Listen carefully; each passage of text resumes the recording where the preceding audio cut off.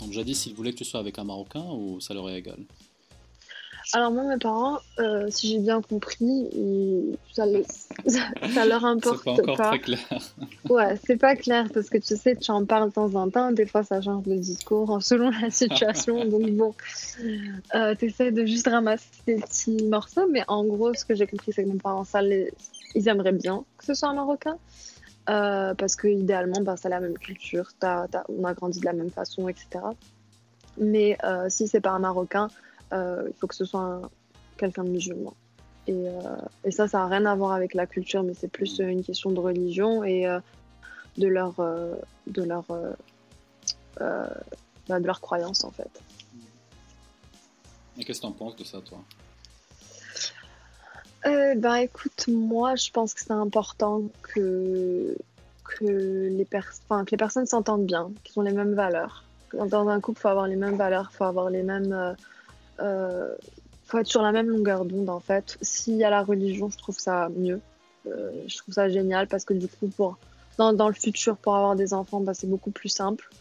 L'enfant, il n'est pas trop perdu, il, est, il a, si tu veux, des repères qui sont assez ancrés. Et, mais en même temps, euh, ça c'est par rapport à la religion, par rapport à, pareil pour la culture en fait. C'est beaucoup plus simple de, de, de- si tu veux construire une famille en venant du même endroit plutôt qu'en ayant différentes cultures, différentes religions. Ouais. Mais, euh, mais voilà, au final, euh, si j'ai bien compris un truc, c'est que tu choisis pas avec qui tu, tu es, ni avec qui tu, tu veux, enfin, qui tu vas rencontrer, avec qui tu vas construire ta vie. Donc, euh, il y a toujours des solutions. Il y a toujours des solutions, euh, des compromis, des sacrifices. Enfin, c'est ça, quoi, une relation. Donc, euh, c'est plus difficile de construire une vie dans un, dans un- une atmosphère, un environnement multiculturel, mais au final, c'est aussi joli.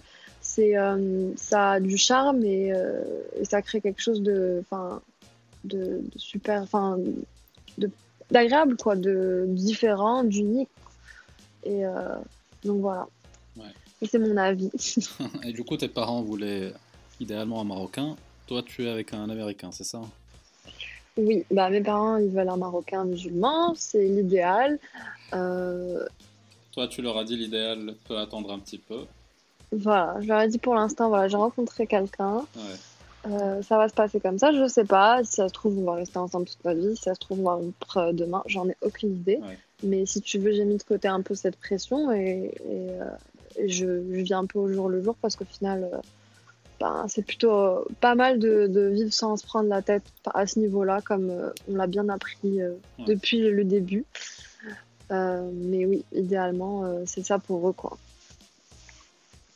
Mais euh, moi, c'est différent et pour mes enfants, ça sera vraiment différent à partir. de- Je, genre, à, à- à partir du moment où c'est quelqu'un de, de stable mentalement et qui prend soin de la personne et qui est sérieux, honnête, etc. Enfin, c'est des valeurs qui sont, euh, si tu veux, qui sont importantes à la personne plus qu'à la religion ou la culture ou euh, son passé, euh, c'est sa famille, etc.